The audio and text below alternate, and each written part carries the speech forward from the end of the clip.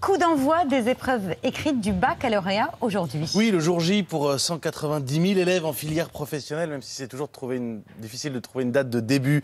Les épreuves ont déjà tenu la semaine dernière et ces dernières semaines en filière générale, technologique et pro. Et demain, donc, l'épreuve reine, la philo. Et nous avons découvert une application qui aide vos ados à réviser.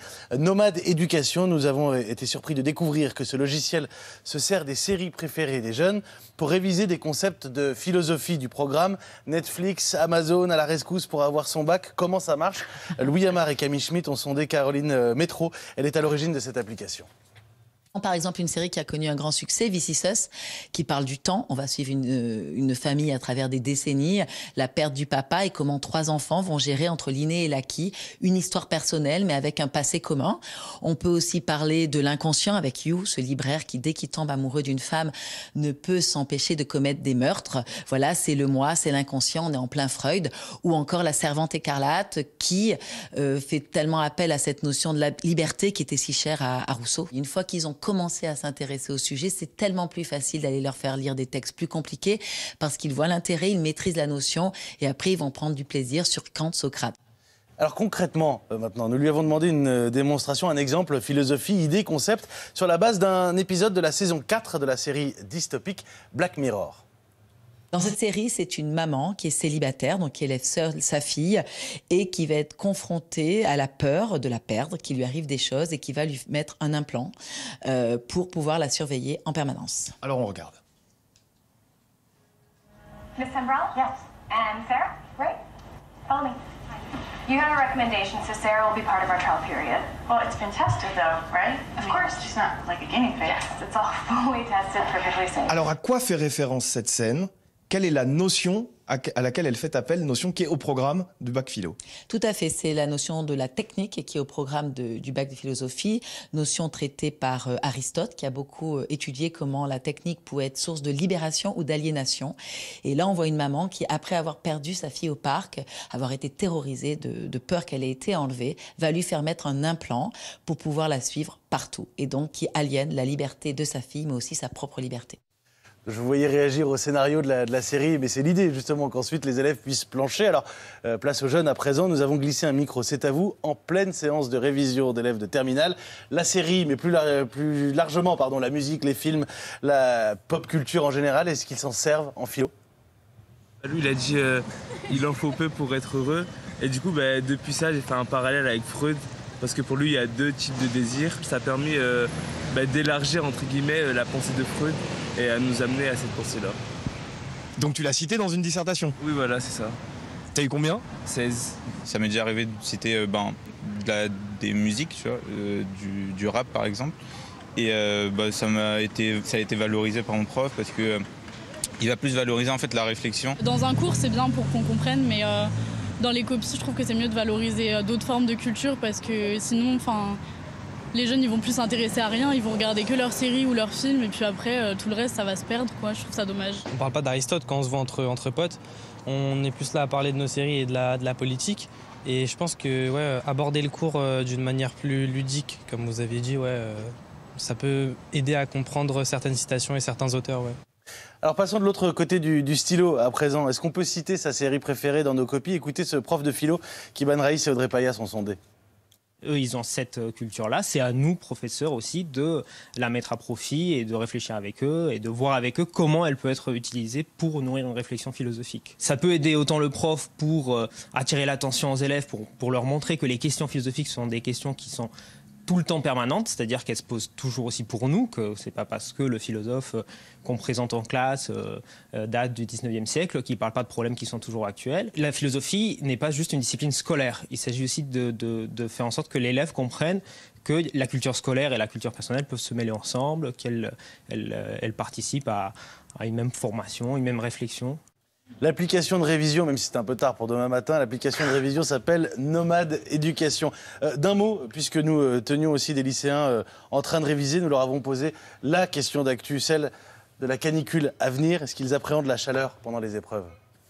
J'ai passé le brevet sous la canicule, donc je ne sais pas s'il y aura une grande différence par rapport au brevet. Donc ça s'était bien passé au brevet, on n'avait pas eu trop trop chaud.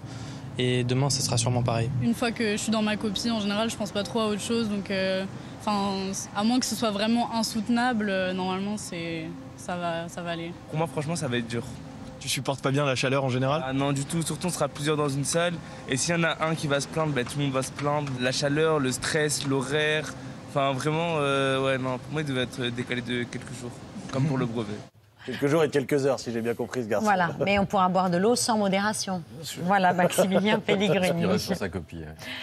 Malgré le scandale, malgré les enfants hospitalisés et même deux morts, des pizzas de la gamme Fresh Up de Buitoni seraient toujours en vente. Alors cette fois, il faut bien comprendre que ce n'est pas la marque euh, Buitoni qui est incriminée, je voudrais le préciser, mais ses distributeurs, en l'occurrence des magasins Franprix du groupe Casino qui, selon RMC, continuent de vendre ces pizzas surgelées alors qu'elles ont été retirées de la vente, rappelées dans plusieurs pays. Depuis la mi-mars, Buitoni reste en cause pour avoir vendu des pizzas contaminées à la bactérie E. coli. Louis Amar et Camille Schmitt ont interrogé maître Richard Legrand que nous avions reçu. C'est l'avocat d'une quinzaine de familles de victimes. Les familles sont consternées euh, après euh, l'affaire du bon d'achat, après euh, la demande d'accès au dossier médical des clients. On arrive maintenant à la présence à l'heure actuelle encore de ces produits qui sont censés être interdits euh, à la vente par le ministère de la Santé. Nous demandons qu'il y ait un contrôle et une vigilance par la suite. Il est impensable que ce genre de produit, qui soit potentiellement contaminés et dangereux, euh, puisse être à disposition et en vente au grand public. Franprix annonce que ces magasins seront euh, contrôlés, mais se défaussent sur ses franchisés. Cette situation met en colère l'association de consommateurs et de vigilance alimentaire Foodwatch. Ça suffit de penser que parce qu'on s'appelle Nestlé, Ferrero ou un grand distributeur qui ont un poids économique considérable sur le marché, ça suffit de penser qu'on est au-dessus des lois. Donc moi, quand on parle du respect des droits fondamentaux des gens et du fait qu'on est tous à égalité, je trouve que c'est hyper sérieux.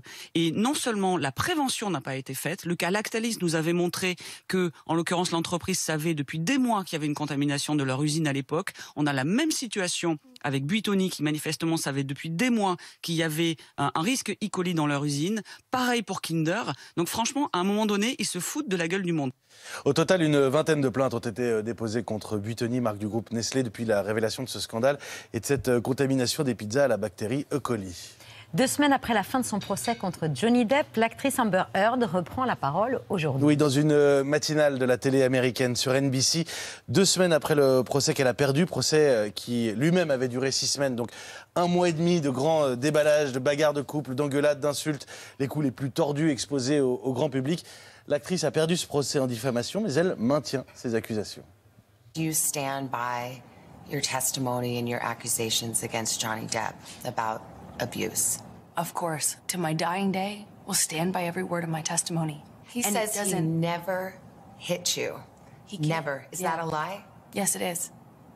Cette interview accordée à la télévision américaine doit aussi servir à restaurer euh, son image, sévèrement écornée par le grand déballage, mais aussi par une fièvre qui s'est déchaînée contre elle, il faut bien le dire, sur les réseaux sociaux. I think vast majority of this trial was played out on social media. I think that this trial is an example. The jury is not immune to that. You think the jury saw it? How could they not? I think even the most well-intentioned juror, it would have been impossible to avoid this. Amber Heard d'ajouter que le verdict de ce procès est à ses yeux un revers pour les femmes victimes de violences conjugales. On termine avec de la fiction qui rattrape la réalité si l'intelligence artificielle nous rattrapait. Oui, alors c'est le scandale qui agite le monde de la tech en ce moment et c'est le sujet de bien des films de science-fiction. Blake Lemoine, l'homme que vous voyez à l'écran est un ingénieur de 41 ans. Il travaillait pour euh, Google et a été suspendu. Il travaillait sur Lambda, une intelligence artificielle en développement qui imite le réseau neuronal de notre cerveau mais qui était destiné à devenir un, un chatbot. Vous savez, ces, ces programmes de services après-vente parfois, de conversations automatiques qui vous répondent par écrit sur Internet sans qu'un humain n'interagisse euh, réellement. Seulement voilà, en travaillant sur Lambda, Blake Lemoine a un autre pressentiment. Après des millions de vraies conversations, Lambda est consciente, écrit-il à ses supérieurs. Et il a publié des extraits de ces conversations. Regardez cet échange déjà. Conversation sur le langage et comment c'est le propre des humains. Lambda répond que c'est ce qui nous différencie d'autres animaux.